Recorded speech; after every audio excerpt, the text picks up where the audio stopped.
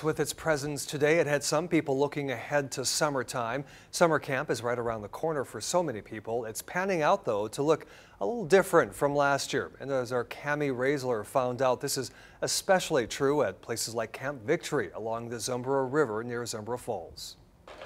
The art supplies are ready. The mini putt-putt is too.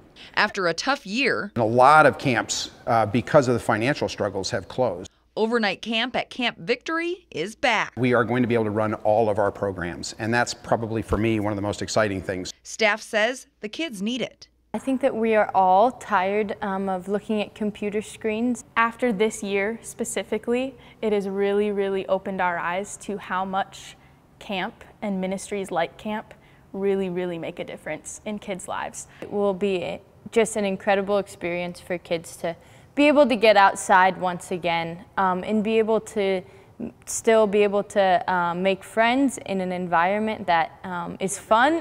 Social distancing will still be in place, and new technology is making things safer. Now we can test our staff.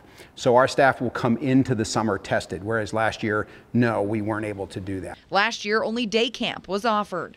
David says it seems like the biggest concern people have is will my child have to wear a mask? A lot of parents will call and say, will my child have to wear a mask? Will they not have to wear a mask?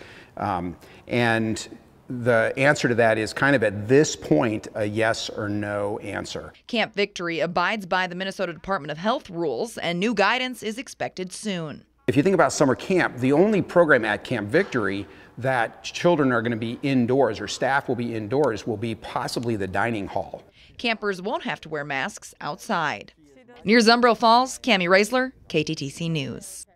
And camp spots are filling up quickly. Camp Victory prides itself in having no positive COVID-19 cases in its scaled back season last year.